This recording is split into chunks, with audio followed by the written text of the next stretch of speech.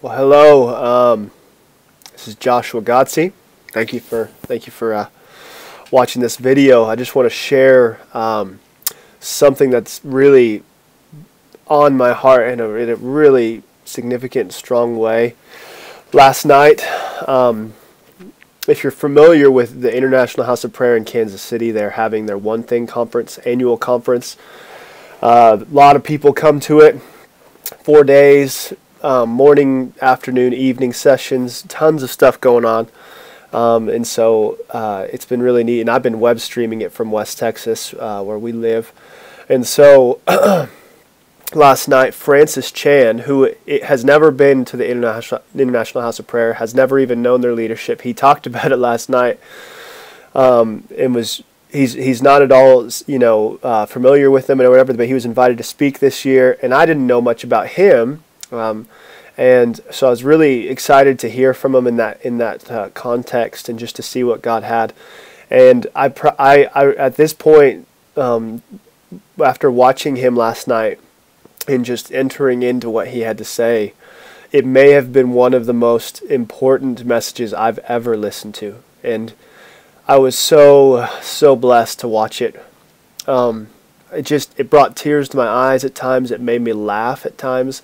The guy is so full of joy. He just he reminds me of he reminds me of my brothers uh, nathan daniel michael uh, jonathan and micah all men of god. I've got five brothers and they're just they're just like energized men of, of men of god. And uh, i know going to make them laugh but uh, Francis Chan was just has this energy, and he's just like he's got his arms on stage, and he's on his knees, and he's just he's going crazy, and and he just has so much, but also he has such a, a precise and sensitive heart for truth and for the Word of God. So man, listen to Francis Chan. Don't prom- I'm not promoting him as a man, but I'm promoting what he his love for the Lord and I, I don't want to promote a man, and I don't ever want to do that. But and, and he actually specifically talked about that. He talked about people walking away from the message thinking about Jesus, not thinking about the speaker. And amen to that. I mean, I, I just, but I love the Bible says to to esteem highly those who are working to preach the gospel. Um, Paul said that. I don't even remember where, but it's in the Bible, so read the Bible. And that brings me to the message that Francis shared. He said, the Word of God. The Word of God is how we meet Jesus, and we want to meet Jesus. So read this thing over and over and over and over and over and over again. Um, and most importantly, I want to, and, and, the message is, is not just that, but I want to give you some scriptures that he shared, and I just want to give you my heart for it. Um, starting in 2 Timothy chapter 4, I charge you, verse 1, I charge you in the presence of God. This is Paul talking to Timothy and of Christ Jesus, who is to judge the living and the dead, and by his appearing in his kingdom, preach the word, and be ready in season and out of season, reprove, rebuke, and exhort, with complete patience and teaching. For the time is coming when people will not endure sound teaching, but having itching ears, they will accumulate for themselves teachers to suit their own passions, and they will turn away from listening to the truth and wander off into myths. But as for you, Timothy, a man of God, someone after the Lord's heart.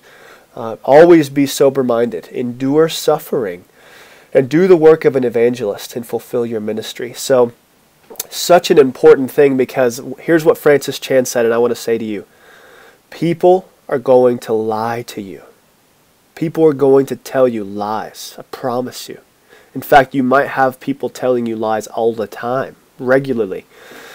And he said that last night, and I just was, it, it struck me with such a profound, um, it just, it was just profound to me because oftentimes the Word of God, and this is, this is talking about it, Christians, we're talking about people after truth, they're not only going to, excuse me, I've been having a cold this morning, and so I've got a bunch of junk in my system, so forgive me, but um, not only are people going to come up with uh, with things that are just untruthful and they're going to say lies, but they're actually going to find teachers that are going to tell them lies based on things that they want to hear. Man, and and he kind of went through some practical examples like, oh, you know, I want to date this girl and she's not really into God that much, but I, you know, who, you know, what is this? And you know, it says to not be yoked to an unbeliever, but you know, I don't know about that. And like, and then you can take that to the extent of like, you know, you're married for a while and everything's going badly now, and it's like, well, Jesus said it's it's our hard-heartedness and it's our sins that cause divorce. But I mean, really, what did it mean? And like, you can just you can interpret this thing. And he was like, Francis was just like, read this book and and trust this book. I want to know Jesus. I want to know the truth. I want to know the Word. And I love this book. And he he talked about um, he talked about just the life and the joy of being uh, in the Word. And I and I just want to encourage you, you. You may not have seen Francis last night, and so I wanted to share on my blog a little bit of my personal testimony. Forgive me. Excuse me. A little bit of my testimony about the Word because I have definitely been through times where I remember there was a friend of mine and we were kind of starting to we had been we had been together in ministry and then we kind of started to think differently. And it it kind of came came to a head. And unfortunately because of my intense immaturity and my sin i found myself one day it's my hard-heartedness. I, I, I just i've repented to him actually since this day but I found myself reading the Bible going, yeah, yeah, this is what he's doing wrong, and this is this is what I'm saying, and I'm like reading through the Bible. I think I was reading through, um, I was reading through like Ephesians or something, and I'm reading through it, and I'm like, this, this is he's not getting this, he's not getting this, you know, and I found myself like, I'm reading the Word of God in order to to just like strike down my brother, and it's it's like, how wicked am I right now? It's like, how judgmental am I being right now, you know? And I knew at the time it was not good. Um, and so that, that's, a, that's a danger in our heart to, to use the Word of God in the wrong way. But here's a testimony about the Word of God for me in, in, in a good way is, is lately I've decided to read Genesis 1 all the way to Revelation 22, book cover to cover. And I've read the Bible. I've, I've re- been reading the Bible for a long time, even though I'm totally not disciplined in it. But um, I've been I've read it, you know, eh, because I've it's raised a Christian, so that helps. That put some time, but a lot of most of the time it's been undisciplined, not really getting the message, not not not reading it with with the right you know interpretation. In other words, reading it for what it is in its context, not using verses like I was doing with my friend, using these verses to attack him. I mean, it's like that's not the context. The context of Ephesians is building up the body in the church of Ephesians, and you know, it's like okay, anyway, so. But I'm reading it now. Pardon me. And I'm reading the, and so I'm into right now. I'm into uh, Nehemiah. So I've read through books like Leviticus and First, Second Kings, First, Second Chronicles, things like that. And I'm telling you, there's so much life and joy in in those passages, and and there's some there's some points of it that are really difficult. And and so Francis Chan last night blew my mind because I told my wife I leaned over and I was like, oh my goodness, because what happened was he was on stage in this conference, 30,000 30, people, and he preached out of 1 Kings 15 and out of Amos chapter 7.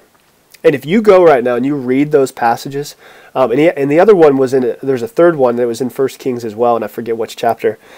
The first one was the story of the man of God. Many of you may not even remember this if you've read it, um, but he's sitting by a tree, and there's a whole context to the story, but to make it short, he's sitting under a tree and the Lord has called him to be in fasting right now. But a guy comes to him and says, Hey, and this guy under the tree is a prophet. So a second guy comes up and says, Hey, Mr. Prophet, come home with me and I want to feed you and give you drink. And, um, and so the guy is like, Well, no, thank you, but he basically summarizes and says, The Lord has called me to not, specifically, not eat bread and to not drink because I'm under a time of, I mean, the that's just the command of the Lord. While I'm in this area, that's what I'm going to do. And the guy's like, No, no, no. I'm, the second guy says, I'm a prophet just like you. And an angel came to me and told me, Go and tell him to come to your house and eat and drink. And so the guy's like, the first guy's like, okay, I guess, you know. and so he goes with them and he eats and he drinks in his home. And then he leaves, and on his way, the Lord speaks to him and says, Because you didn't listen to the word of the Lord, um, disaster is basically coming. And so on his way, a lion comes and kills him. And it's, it's just like super, like, what? What is going on, you know? It's almost one of those stories where you're just like, what is this? Is I mean, what is going on? And, and I love that Francis Chan brought that up because it's so important to understand that the word of the Lord, God is looking for those who are after his heart, and men will lie to you. And, and you know, actually, something Francis didn't bring up that I kind of thought would have been important last night is the guy who got eaten by the lion, luckily he can look forward to a resurrection. Amen. I mean, isn't that true? We, death is not the end of the story. So even though it's it's it's a horrible thing that he was attacked by and killed by a lion, that's not the end of the story. And so it, it causes a lot less of offense towards these scriptures. Um, anyways, so and then the second story is this one. This one is just super intense. It's so it's so intense. Uh, learning about what who Jesus really is um, and uh, who, who, God really is. Uh, king Jeroboam was the king of Judah. At this time, Judah and Israel are two separate entities because of division. And then they have King uh, Ahab. And you, you, you, probably have heard those guys' names. And Ahab's the king of Israel.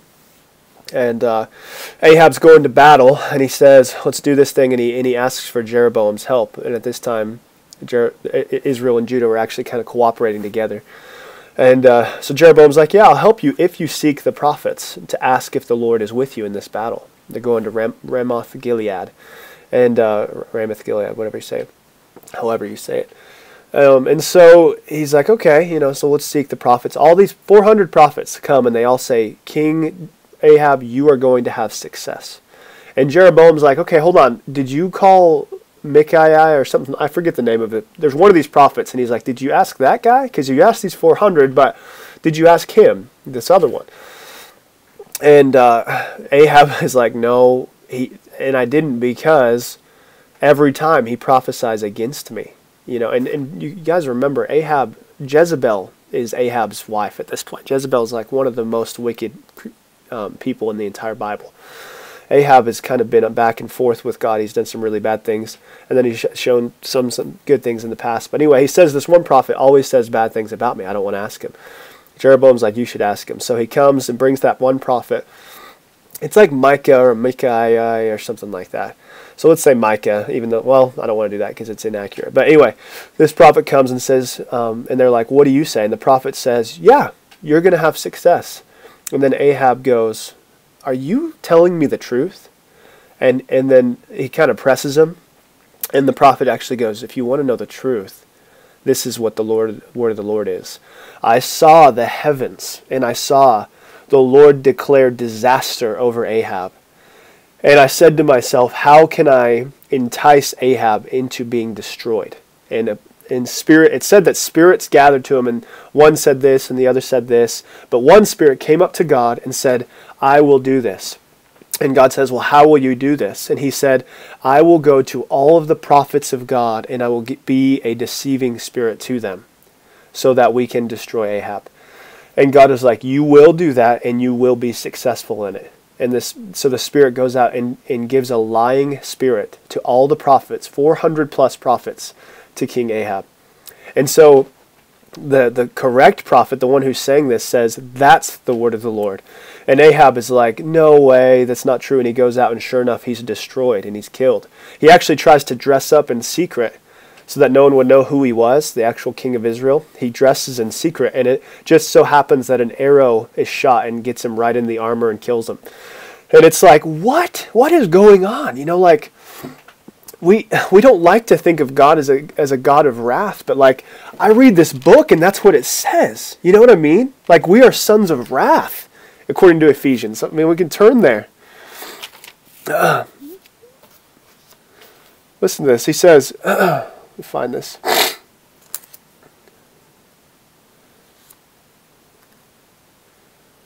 Let me find here.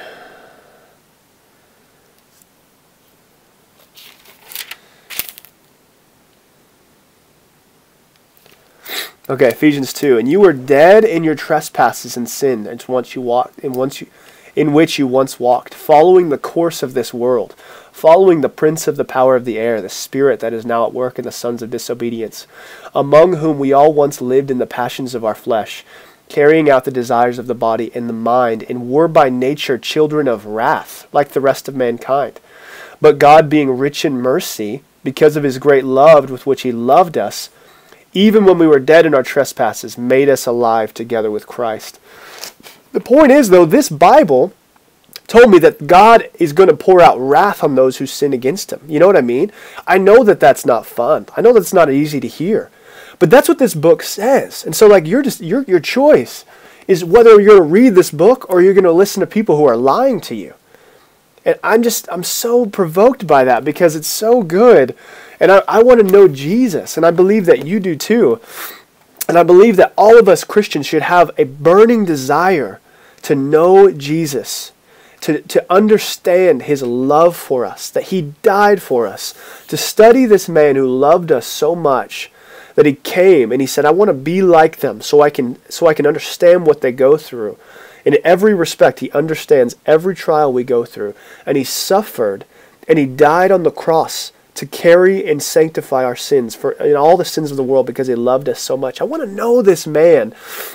And I want to actually what the what I want to actually share in his sufferings as a way of understanding his heart for me and for everyone else that I might actually attain to a better resurrection. Because we know the end, the end of the story. We don't we don't walk for this life in this age. The end of the story is a resurrection of my body. If I die I'm going to live forever. You know what I mean? So I actually want to be a companion of Jesus in his sufferings and in his difficulties because it's ultimately in his joy. It's for the joy that was set before him that he endured the cross.